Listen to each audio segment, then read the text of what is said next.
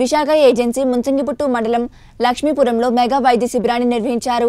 ఈ వైద్య శిబిరానికి ముఖ్య అతిథిగా అరకు శాసనసభ్యులు చెట్టి పాల్గొన ఐటీడీఏ పీఓ రోణంకి గోపాలకృష్ణ పాల్గొన్నారు. గిరిజన ప్రాంతంలో పదిహేను రోజులకు ఒకసారి ఇటువంటి మెగా వైద్య శిబిరాన్ని నిర్వహిస్తున్నామని పేర్కొన్నారు. ఇప్పటి వరకు ఏజెన్సీ పదకొండు మండలాల్లో ఎనిమిది మెగా వైద్య శిబిరాలను నిర్వహించామని ఇది తొమ్మిదవ వైద్య శిబిరమని గిరిజనులంతా ఎటువంటి ఆరోగ్య సమస్యలు ఉన్నా ఇటువంటి వైద్య శిబిరాన్ని సద్వినియోగం చేసుకోవాలని ఐటీడీఏ పీఓ రోణంకి గోపాలకృష్ణ మరియు అరకు శాసనసభ్యులు చెట్టి పాల్గొన కోరారు. జూన్ నుంచి అంటే జూన్ కాదు ఆగస్టు ముప్పై ఒకటిన first mega mega medical camp మనం కండక్ట్ చేస్తున్నాము.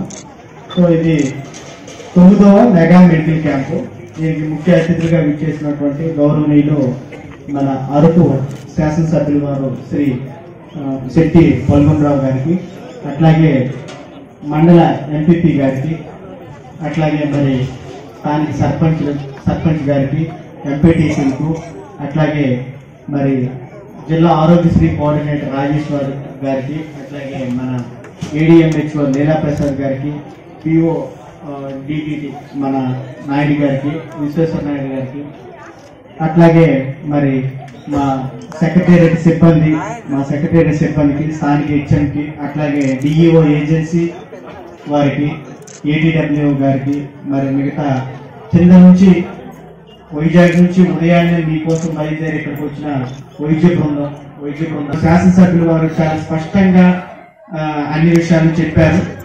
సో ఇవన్నీ కూడా మనం ప్రతి పదిహేను రోజులకు ఒకసారి ఏజెన్సీ ప్రాంతంలో మారుమూల ప్రాంతం ఏదో మెయిన్గా కాదు మారుమూల ప్రాంతాన్ని మనం ఎంచుకొని అక్కడ కండక్ట్ చేస్తున్నాం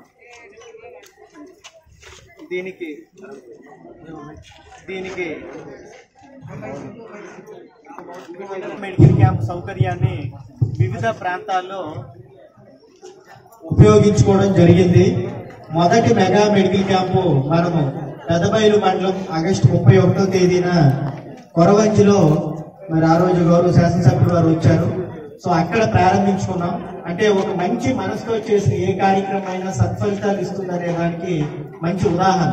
గౌరవ శాసనసభ్యులు వారు కూడా ఆయనకి మేము అరకు వ్యాలీలో శాసనసభ్యులుగా ఒక గెస్ట్ హౌస్ ఇస్తే గిరిజనుల యొక్క బాధలు గిరిజనులుగా ఒక అభిమానంతో గిరిజన యొక్క బాధలు చూసి ఆయన గెస్ట్ హౌస్ ఒక pregnant women hostel birth waiting hostel కోసం ఇచ్చేశారు. అట్లాగే మరి ఇట్లాంటి వాటికి మరి క్లాప్స్ కొట్టాలి. తర్వాత మరి ఎవరైనా చనిపోతే వాళ్ళ ద్వారా వాటిని స్వర్గధామ వెహికల్ కూడా మరి ప్రొవైడ్ చేస్తున్నారు. ఆయన ఒక ఆ, సేవా సంస్థ దాని ద్వారా కూడా ఎంతో మంది కోవిడ్ టైంలో కానీ ఇప్పుడు కానీ ఎవరు ఫోన్ చేస్తే ఇమీడియట్గా అది ప్రొవైడ్ చేస్తున్నారు.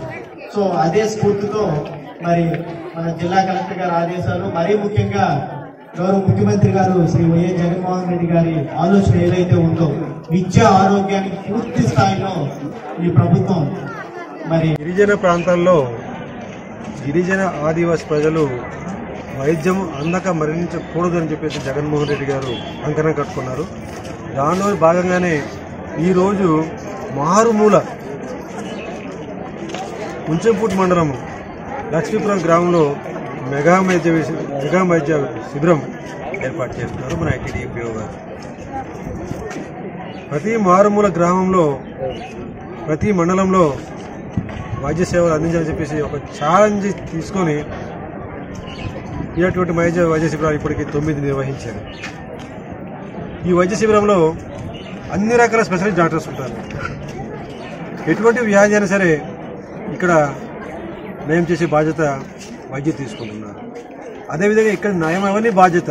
ఫర్ ఎగ్జాంపుల్ ఆపరేషన్ చేయాలనుకోండి హండ్రెడ్ పర్సెంట్ మన వాళ్ళు ఇక్కడ నుంచి తీసుకువెళ్ళి విశాఖపట్నంలో ఆపరేషన్ చేసి వారు జబ్బు చేసే బాధ్యత కూడా ఈ వైద్య శిబిరం పిఓ గారు డాక్టర్స్ తీసుకుంటున్నారు. సో ఈ యొక్క వైద్య శిబిరాన్ని అందరికీ సద్వినియోగం చేసుకోవాలి. మారుమూల ప్రాంతంలో వైద్య శిబిరం ఏర్పాటు చేసుకుని సద్వినియోగం చేసుకొని గిరిజన ప్రజలకు చైతన్యమై లోకల్ లోకల్ నాయకులు కావచ్చు లేకపోతే ప్రజలు కావచ్చు ఎంపీటీ కావచ్చు సర్పంచులు కావచ్చు గ్రామ గ్రామాన్ని తిరిగి తిరిగి ఎవరైనా జబ్బా మెడికల్ పరంగా బాగోలేకపోతే ఈ యొక్క వైద్య శిబిరాన్ని సద్వినియోగం చేసుకోవాలని చెప్పేసి మా యొక్క రిక్వెస్ట్. అదేవిధంగా కనివినికిని ఎరిగిన రైతుల్లో గిరిజన ప్రాంతంలో వైద్యంపై ముఖ్యమంత్రి గారు శ్రీ వై జగన్మోహన్ రెడ్డి ప్రత్యేక శ్రద్ధ వహించారు. అందులో భాగంగానే పాడేరులో మెడికల్ కళాశాల పాడేరులో ఆపరేషన్ థియేటర్ పాడేరులో అన్ని రకాల శస్త్రచికలు చేస్తున్నారు. అదేవిధంగా అరకులో కూడా ఆపరేషన్ స్టార్ట్ చేశారు. ఆ అరకులో కూడా అన్ని రకాలైన స్పెషల్ డాక్టర్స్ మాకున్నారు. ఇలాగా వైద్యపరంగా వైద్యము విద్య ట్రాన్స్పోర్టేషన్ కమ్యూనికేషన్స్ ఇవన్నీ కూడా బాగుండే ఉద్దేశంతో జగన్మోహన్ రెడ్డి గారు గిరిజన ప్రజల్ని అర్థం చేర్చుకొని అభివృద్ధి పాటలో ఆరంభ చేస్తున్నారు. అదేవిధంగా గతంలో మునుపు ఎన్నడూ లేని విధంగా ఈరోజు ము- ముంచపూడి మండలంలో సుమారుగా పద్దెనిమిది రోడ్లు శాంక్షన్ అయింది. ఆల్రెడీ పది రోడ్లు ఆల్రెడీ మనం ఓపెన్ చేసుకున్నాం. ఇంకా ఎనిమిది రోడ్డు మన రేట్లు అయి వచ్చింది. అది కూడా త్వరగా టెండర్లు పిలిచి ఒక మార్పుల బొంగపూట్ కావచ్చు లక్ష్మీపురం కావచ్చు ఇంకా మధ్య ఇది జోడిగుమ్మలు ఇటువంటివన్నీ కూడా రేపు రాబో రోజుల్లో మేము శంకుస్థాపన చెప్పి గిరిజన ప్రజలకి రోడ్డు లేదని చెప్పేసి చెప్పడానికి వీలు లేకుండా చేస్తామని చెప్పేసి బొంగపూట్లో కూడా బ్రిడ్జ్ కూడా శాంక్షన్ అయింది. ఏడు రోడ్డు కూడా మన బొంగపూట శాంక్షన్ అయింది. ఇవన్నీ కూడా త్వరలో ప్రారంభం చేసి అందుబాటు